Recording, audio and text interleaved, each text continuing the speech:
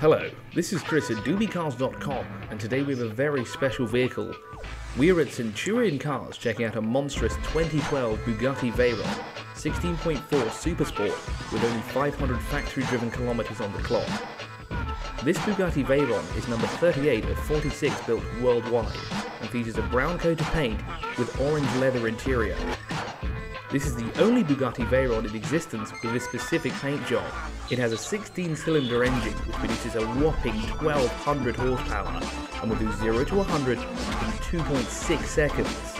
And in just 14.6 seconds it will go from 0 to 300 kilometers. It can achieve a top speed of 434 kilometers an hour. Would you like to hear the sound of that massive engine? Let's have a listen.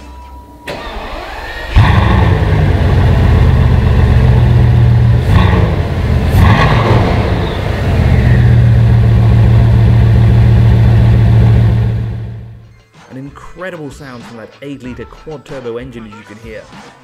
This Bugatti Veyron 16.4 Supersport is available at Centurion Cars. For more details and the price, see the description below.